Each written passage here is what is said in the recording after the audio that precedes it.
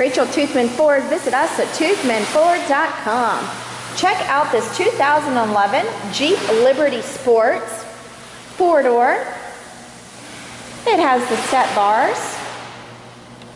Tires are like new and in excellent condition.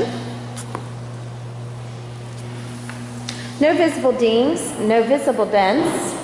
Clean AutoCheck. Lift glass in the back. 82,100 miles. Trail rated 4x4. The previous owners kept this Jeep in great condition. As you can see, it has the window locks, the control panels in the center of the steering wheel, Sirius XM radio, Bluetooth capability. This is for your four-wheel drive. Cloth seats throughout.